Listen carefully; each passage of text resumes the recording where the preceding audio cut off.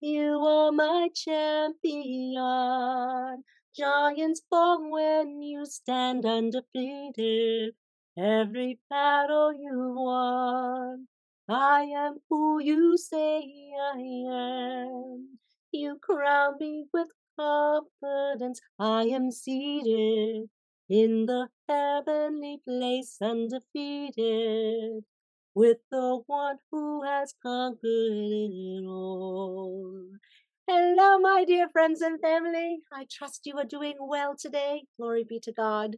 The image behind me is of our champion. Yes, Jesus Christ of Nazareth in his glory in heaven. Glory, glory be to God. Thank you so much, Jesus, for all you have done for us and you continue to do. Amen. Amen. All right, without further ado, let's go ahead and get started with Today's word with Joel and Victoria. The scripture is from 1 Samuel 25 25 in NIV. Please pay no attention, my lord, to that wicked man Nabal. He is just like his name. His name means fool, and folly goes with him. The title of this devotional is In Tough Situations. 1 Samuel in 1 Samuel 25. Abigail was the wife of the cruel man who had so offended and outraged David that he and his men were on their way to kill Nabal and all of his men. Abigail intervened and persuaded David that her foolish husband was not worthy of any response. She saved many lives and she kept David from losing an everlasting dynasty through unjust vengeance. That's what happens when you don't let unfair, a bad situation, or lost cause, you can get discouraged and give up. What stops us many times is we have a good reason to live sour and defeated. A bad childhood, a bad relationship, the company lets us go. We wouldn't be taking, uh, talking about Abigail, if she had used her husband as an excuse to do the right thing.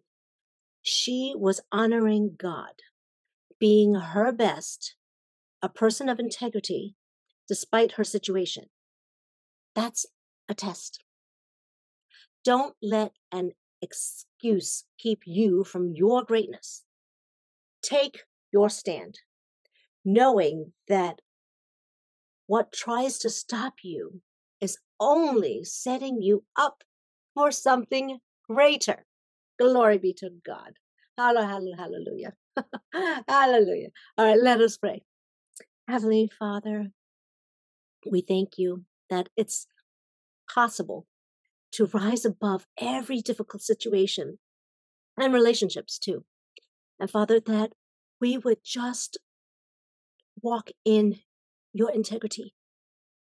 We would stay in your peace. And Father, we thank you that we can keep honoring you and overcoming what could easily cause us to live sour and fail. So, Lord, we will continue to stay in your greatness, to remember that you are our champion and you have gone through so much in this lifetime and have given us such great examples of who you are, how you handled everything.